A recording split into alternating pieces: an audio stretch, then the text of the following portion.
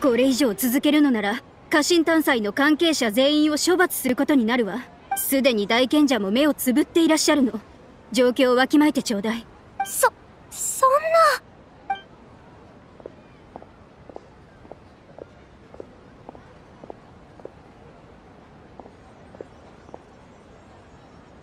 え？旅人？私たちのためにそんなことしなくて大丈夫だよ。旅人？旅人いきなり何やってんだよ。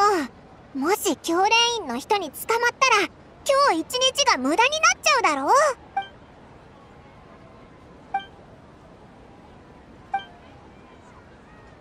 あれこいつら反応がないぞ。あそうか。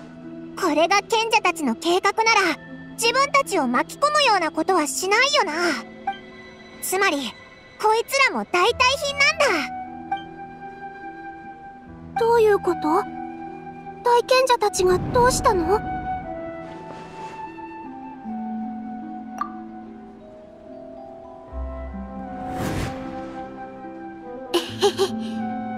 パティサラは家臣様を象徴する花だからね。でも残念ながらそうね。マハールッカ・デバータ様が家臣様を記念して作られたパティサラも結局はあの鮮やかな赤紫色を再現。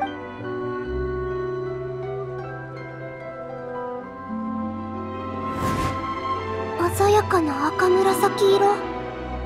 これって伝説にある本当のパティサラだよね。今まで気づかなかったけどまさかドニアザードが見つけてきてくれたのかな？でもお前言ってたよな。この花は家臣が逝去すると同時に絶滅したって。まさか。うん。一体どういうことなんだろう。え？あなたたちなんか変だよ。でもうーん。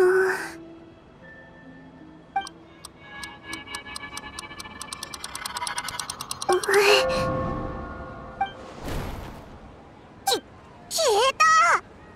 夢の主はニーローだったのか。赤紫色のパティサラはもうこの世に存在してない。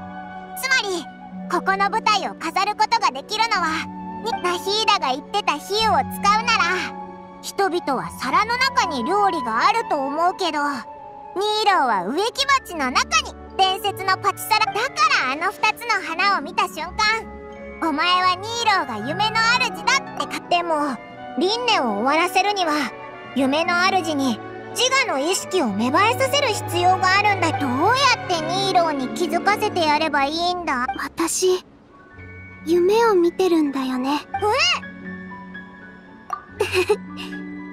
え やっぱりね。家臣探査を経験に祝っていた私たちに。間違ってるけど完全に違うとも言えないな。お前の認識だとスメール人は夢を見ないはずだろ？あなたたち一人目の賢者の物語は聞いたことあるかな？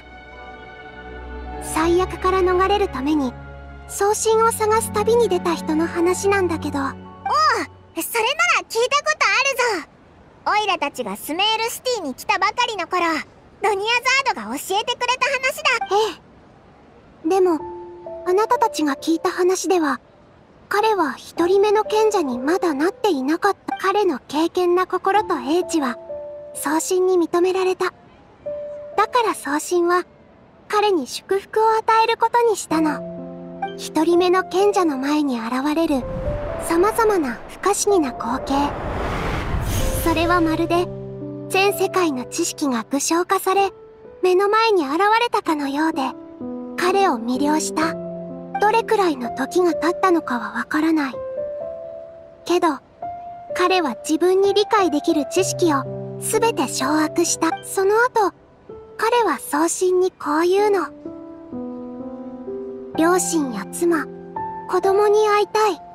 送信は微笑むと次の瞬間賢者は自分がベッドの上で横になっていることに気それでそばにいる妻がこう言うの。今日は、昇進を探しに出る日よね。それから、一人目の賢者は、スメールシティに訪れていた最悪をいくつも解決し、つまり、一人目の賢者は、物語の最初からずっと夢の中にいたのか？うん。きっと、彼の敬虔な心と決意が送信に届いて、夢というか、なるほどな。お前の考えは分かったぜ。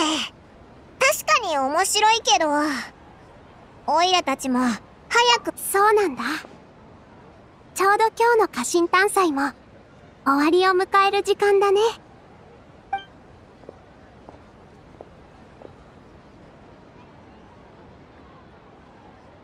せっかく夢の中にいるんだから、最後の家臣の舞は、少し派手に踊ってもいいかな。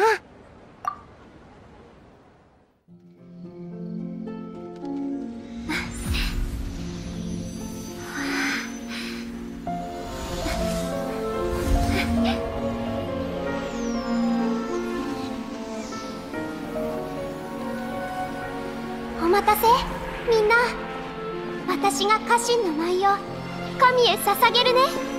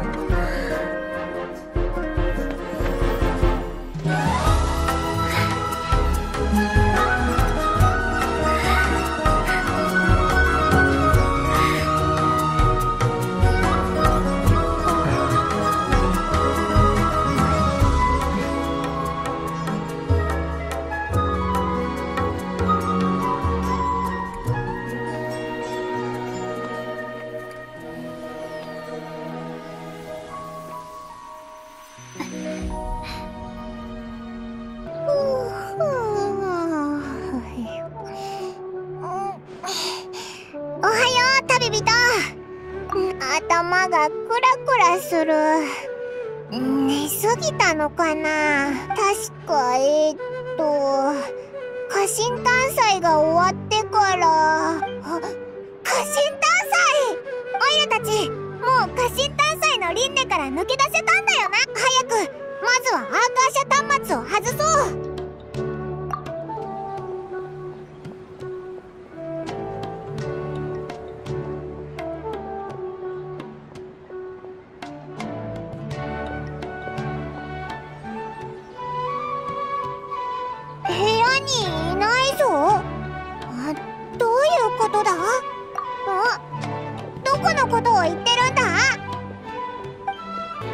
くやったわね。旅人。タイムそれと。ありがとう。ドニアザード。あなたは？ドニアザード。うーん。無事だったのか。旅人にパイも。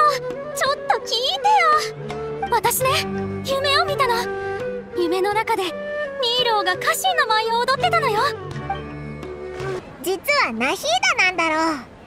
通りで家臣探査の会場で会った時それとドニアザードのことも。それは話すと長くなるわ。それに今は病人の休息を邪魔しない方がいい。場所を変えて話しましょう。旅人の大好きなあのまずはドニアザードのことから話そうぜ本当に無事でよかったなええ家臣探査の最後の日私はあなたたちと別れた後、無数にある無境の中、だんだんと薄れていく夢を見つけたわ。ドニアザードがアーカー社による夢の搾取に完全に耐えられなくなった後、その意識は散逸してしまった。でも、わずかに残った意識も長くは続かず、本来自分があるべき夢へと戻る。そしてそれは、無境と共に薄れていくの。私は全力でドニアザードの無境を維持したわ。けど、長くは持ちそうになかった。つまり、オイラたちが一緒にドニアザードを救ったってことか。あら？どうして二人とも嬉しそうに笑っているの？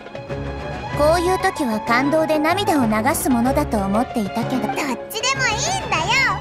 そういうのは人によるんだ。さてそれ以外にもまだ多くの疑問があるんじゃないかしら。あなたたちは私の経験なる信徒を救ってくれた。旅人はアビディアの森にいた時五行の影響で気を失ったんだ。それに加えて一人の声が聞こえた知ってたんだな。ずっとそれが何なのか聞きたかったんだ。どうやら旅人は世界樹と繋がったようね。それは世界樹の中にあるマハールッカ・デバータの意識の残骸が残した知っていると思うけどマハールッカ・デバータはカーン・ルイアの最悪の後に失踪したの。だからタイミング的には合っているし。マハールカ・デバータが残したメッセージ？オイラたちてっきりあのスカーレット・キングの方かと。スカーレット・キング。あのさらに前に亡くなった魔人？今もまだスカーレット・キングを信そうなのか。じゃああのメッセージの内容は？私にはまだ解読できないわ。たとえ今のアーカー社が持つ能力を使ってもね。マハールッカ・デバータが世界中に残した意識は、まるで汚染されているかのように、たとえ修行を積んでいるあまたの学者たちでさえ、それに意識をつなげると、完全に狂ってしまうの。でも、世界中を救う鍵が、その中にあると私は信じている。幻覚で見たあの木が世界樹だったのか。ティナリも言ってたよな。世界樹が病気になったってでもお前ですらあの幻覚の意味がわからないなんて。旅人はあの意識に触れても全く影響を受けなかった。そんな人は初めてよ。いえ。私たちは必ずその中にある秘密を解き明かさなくてはならないわ。これは世界樹の。テイワットの存亡をかけて挑戦する。厳密に言うと私はアーカー社を媒介にして、キャサリンの意識を占有しているの。そ、そんなのどうやってやるんだよキャサリン、なんかかわいそうだな。アーカー社端末をつけているものなら、理論上は彼らの脳裏に入ることができるわ。アーカー社は、マハールッカ・デバータの遺産。そして私は、クラクサ・ナリデビであり、最初のアーカー社端末でもある。でも、私は常にスメールの民の自己意志を尊重している。彼らの意識を占有したことは一度もない。え？ちょ、ちょっと待て。なんか今、さらっとすごいことが判明しなかったか？キャサリンってそうだったのか。でも、お前自身の体はどうしたんだよ？なんでずっとこんな方法を使ってるんだ？それは、かなり昔のことから話さないといけないわね。マハールッカ・デバータが消えた後、当時の私は、幼く無力だった。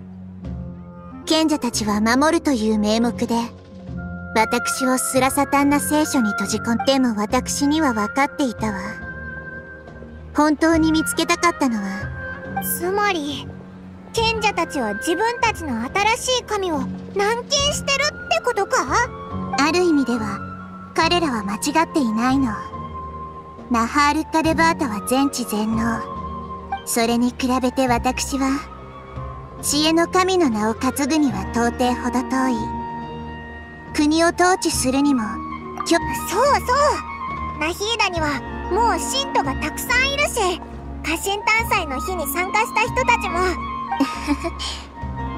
そう言ってくれるなんてありがとうでも実際私にとって世界中を救うことこそが使命であり最優先事項その方法を探しながら時々知恵の神の責任を担って道に迷った民を導く。それが教令員によるスメールの統治に大きな問題は一度もなかった。一体何が起きたのか。何の目的があってここにいる人々はほとんど異変に気づいていないけど旅人が家臣探査の輪廻を破ってくれていなかったら私もアーカー社を通して調査したけど疑わしい資料は何もなかったわ。主要な人物もアーカー社端末をおそらく彼らは意図的に何かを隠そうとしそういえばガンダルバー村にいた時一人の賢者がティナリをあるプロジェクトに誘っとにかく賢者たちの意図を調べそれを正して罰することを優先しなくてはならないわ。アーカー社のせいで夢を見ないことかしら。そうだぞ。こんな長い間誰もおかしいって思わなかったのか？気づかないのではなく気にしないの。根本的な原因は賢者たちによるミスディレクションよ。ミスディレクション？賢者たちは人々に夢を見ないことが理性と英知の表れでありスメール人の栄誉だと思わせているわ。けれど実際はただアーカー社によって夢が収穫されているだけ。賢者たちはそのおかげでアーカー社を最大限に利用することができ過去の研究をよりスムーズに進められるようにした。それに当時マハールッカ・デバータがアーカー社を創造したのもそれを有効に使ってほしいと思ったからに違いないわ。こうして賢者たちの主張する考え方は疑いの声をかき消した。ひいてはアーカー社端末を一度も使ったことがなく夢を見られるスメール人さえも。そそう。私の回答が旧知者であるあなたたち実はドニアザードの消えかかった無境を維持していた時私の精神力にも大きその間賢者たちの行動はそれほど心配しなくてもいいわ。家臣探査の輪廻のようなお寝てていいぞ。オイラたちが見守ってるから。あ頼もしいわね。はあこんなに疲れた誕生日は。ん？旅人さんパイモン？私はどうしてここに？えー、っと無憂ってやつじゃないか？ほら無憂してる人を呼び覚ましちゃダメだって言うかそうだったんですね。うそろそろメンテナンスの方を探さなければ。ああ大丈夫です。私はすぐに戻りますので